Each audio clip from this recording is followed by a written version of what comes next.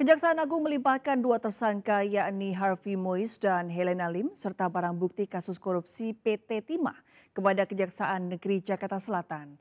Jumlah barang bukti kedua tersangka mulai dari 17 unit tanah dan bangunan, 11 mobil mewah, ratusan tas branded hingga uang tunai puluhan miliar rupiah. Kejaksaan Agung melimpahkan dua tersangka berikut barang bukti dalam perkara dugaan tindak pidana korupsi timah, yakni Harvey Mois dan Helena Lim ke Kejaksaan Negeri Jakarta Selatan.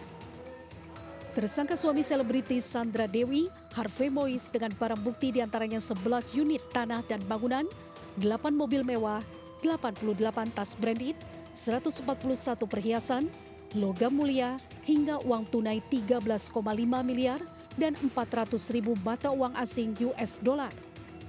Sementara tersangka Helena Lim dengan barang bukti di antaranya 6 unit tanah dan bangunan, 3 mobil, 37 tas branded, 45 perhiasan, 2 jam tangan mewah, dan uang tunai sejumlah 11,4 miliar rupiah dan 400 ribu mata uang US dollar. Keduanya selain ditersangkakan dengan pasal 2 dan 3 Undang-Undang Tipikor, juga pasal 3 dan 4 Undang-Undang Nomor 8 Tahun 2010 tentang pencegahan tindak pidana pencucian uang. Jajaran Jampitsus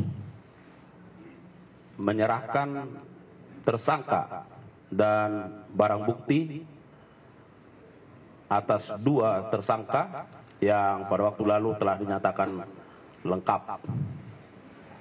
Penyerahan tersangka dan barang bukti ini merupakan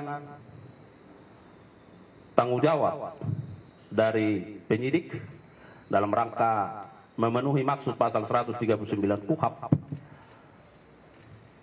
Tentu penuntut umum pada Kejaksaan Negeri Jakarta Selatan akan melakukan pemeriksaan terhadap kebenaran identitas dan formalitas tersangka dan barang bukti.